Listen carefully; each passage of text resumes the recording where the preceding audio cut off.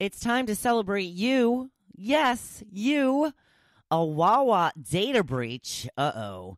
And Forman Mills makes a whole lot of people happy. Forman Mills! Welcome to The Hopefulist, a daily talk show hosted by veteran broadcaster Wendy McClure. Join Wendy each day as she shares her life lessons that transformed her from perpetual pessimist to the ultimate hopefulist. The perfect morning show to get you caught up on the day's top stories while sharing insights that will lead to positive transformation and bring out the hopefulist in you. For more inspiration, visit hopefulist.com. And now, here's your host and hopefulist, Wendy McClure. Here we go now. Here we go now. It's Friday. It's Friday. Woo! Happy weekend, people. We made it. We made it. It is Friday, December 20th. December 20th. Five days until Christmas. 2019, day 98 of Gotta Get on Ellen. Very exciting. Five more days till Christmas. Two more days till I hit double dig- digits for Ellen, which will happen on Sunday. So I won't be talking about it. Monday will be day 101, and I will have to spend uh, send her a special video for the 100th day of Gotta Get on Ellen. I wanted to tell you a little bit about what's happening with me, the Hopefulist, next week. I will be here. I will be doing shows on Monday, on Tuesday. That is Christmas Eve. I will be taking off Christmas Day and the day after, but back for you on Friday. So I am taking off the day after Christmas instead of Christmas Eve because I will be not home. I'm going to be spending Christmas at my cousin's house, Christmas Eve and Christmas night. I'm not sure he knows that yet. but hopefully he will be listening and know that. Uh, we have, um, it's just hard to drive all the way home after a big, huge Christmas dinner. Um, it's about an hour and a half ride, but, you know, it'll be dark by then and all that. And, you know, it's just too much. It's just too much. And then the hubby, the hubby has to work the next day, so it'll be easier for him to just go from my cousin's house, which is not even like 20 minutes. So he can sleep in a little later, a little Christmas gift for you. You get to sleep in for an extra hour.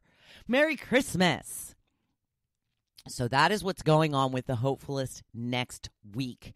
And then, of course, I will be here the following week as well as we prepare for the next decade of our lives. Is it going to be the best one yet? Well, of course it is. So there you go. I will not leave you hanging on Christmas.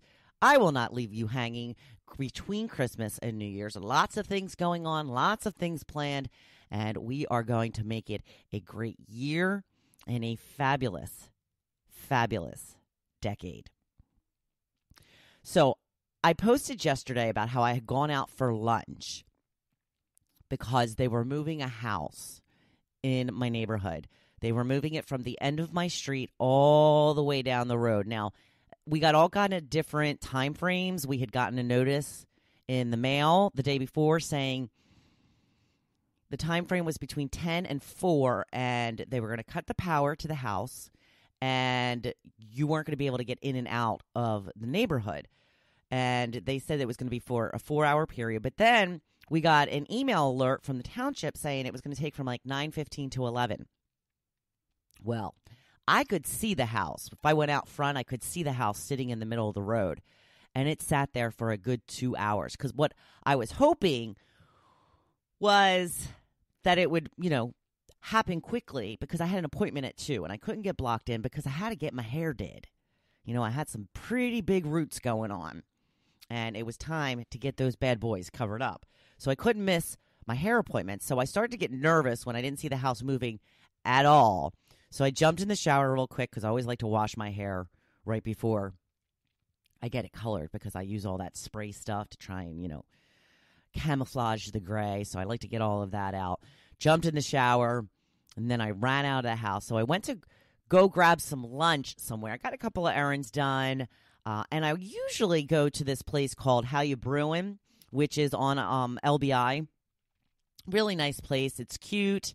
Uh, very comfortable. They just expanded. There's lots of places to sit, um, and you know it's it's kind of like a Starbucks atmosphere. You know, you're encouraged to kind of sit around and relax, use your computer, all of that kind of stuff. And then, as I was going over the bridge, thinking I was going to How You Brew, and all of a sudden another place popped in my head called The Local, which is really like two blocks away. They have better selection of food. They have a better selection of food at The Local. I've had some issues with The Local in the past. Everybody loves this place. It's not as comfortable as How You Brew it, but I, as I was driving over, I remembered that they had a particular shrimp salad and uh, I was like, you know what? If I'm going to have lunch out, I'm going to have lunch out. So I went to the local instead. I got a really kind of cool spot back in a little booth area. They have all kinds of pillows uh, propped up for you to be more comfortable. Pulled up my laptop. I was one of those. Yes, I was one of those yesterday. I kind of didn't really have a choice. Got my uh, my blog post done while I was there. Did some work and they were playing Christmas music and it was very festive and I just tried to take in the atmosphere and take in the moment. It was very nice. So I check in on my Instagram account and I find this to be very strange. I check in on my Instagram account and earlier that morning I had posted a picture and I had tagged it Long Beach Island. I do uh, tag most of my Instagram pictures because it's puts you into another category that people can scroll through. And I try to take turns between the area that I live, between like Long Beach Island, Beach Haven West, Stafford Township, uh, that type of thing. So different groups get different different posts of mine. So I had tagged this particular post Long Beach Island while I'm sitting at the local. I'm actually sitting in the booth eating my sandwich. I see that How You Brewin liked one of my Instagram posts. Okay, that's weird, isn't it? Don't you think that's really weird? That I was going to go to How You Brewin and I changed my mind at the last minute and went to the local and then How You Brewin likes my Instagram post. I was so floored by this. I almost went up to the workers at the local to show them and then I'm like, no, no, no. They'll probably think you're crazy. Just sit down, shut up, keep your mouth shut. I think that's kind of crazy though. Don't you think that's crazy?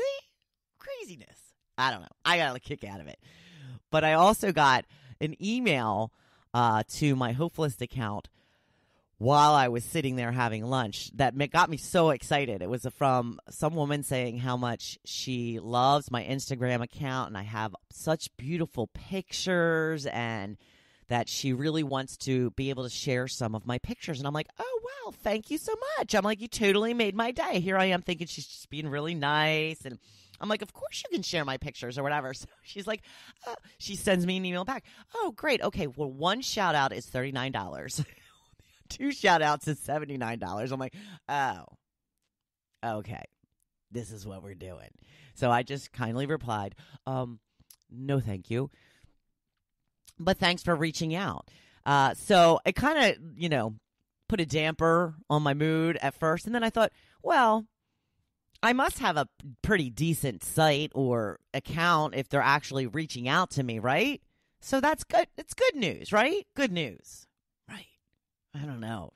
All kinds of things that have never been happening before are happening to me now and it's I'm trying to always look at the positive side. So I'm just happy that she I guess found my account to be high quality enough to extend her services to. I didn't take her up on it.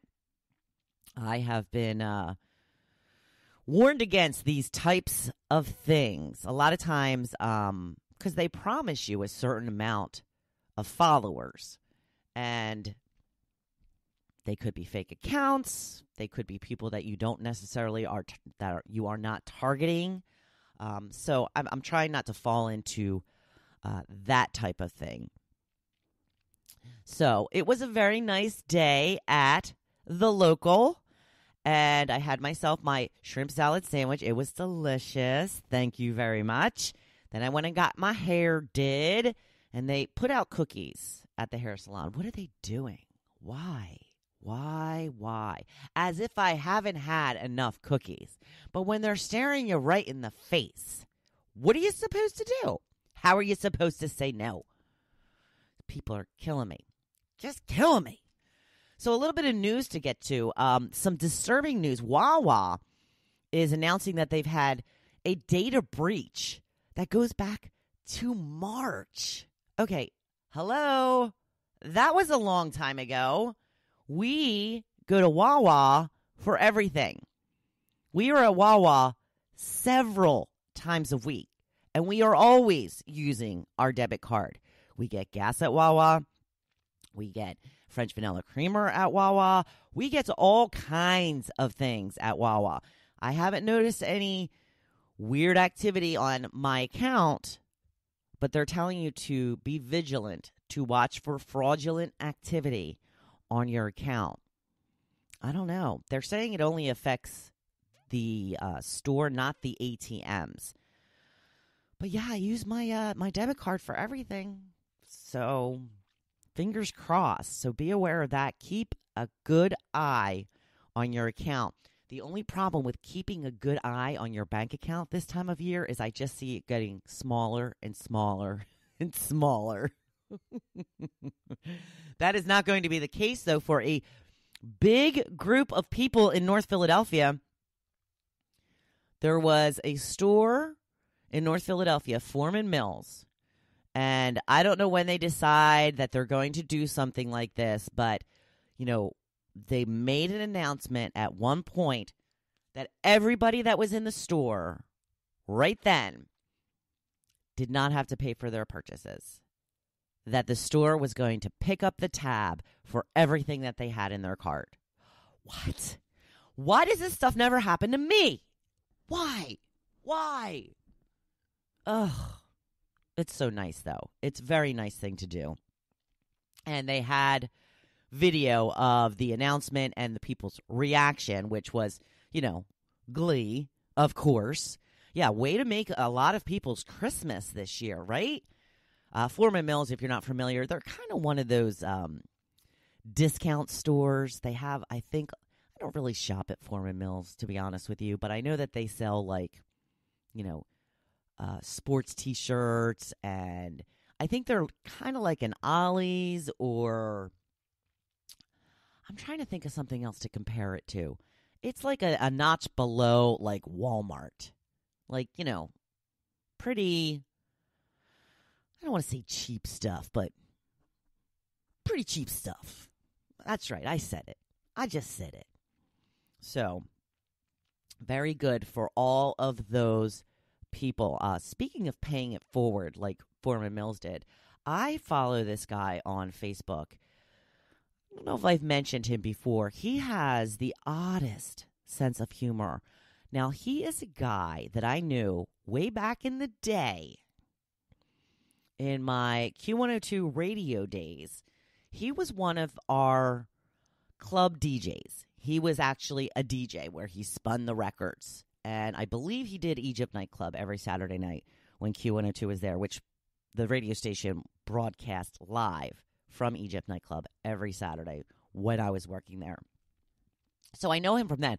I don't think that I ever once spoke to this person. Very quiet, never says a word, but he friended me on Facebook. And I mean, years ago, years ago, he friended me on Facebook. I'm like, okay. He's got the craziest sense of humor. He is so funny. And it's so shocking because, like I said, he's so quiet and he seems so shy. But he put something up on his Facebook page yesterday that I just wanted to mention because it was really funny. Uh, he said that when he was in Starbucks in the line at the Starbucks drive-through the other day, he told uh, the cashier that he was going to pay it backwards and that the people behind him were going to be paying for his order. I just love him. I think he's hilarious. He is just hilarious. Joe hears me talk about him all the time because he's funny. I mean, come on, that's funny. I mean, what do you think that the cashier at Starbucks would actually say if you actually did say that to her? I'm going to pay it uh, behind. Those people pick up my tab. you know, because sometimes that's like a, a thing. Like they're like, oh, okay. Did you guys arrange that? Oh, yeah, it's all arranged. and then you leave with your $7 cup of coffee. Yeah, I'm feeling a little giddy today. and I will tell you why. I'm trying to save it up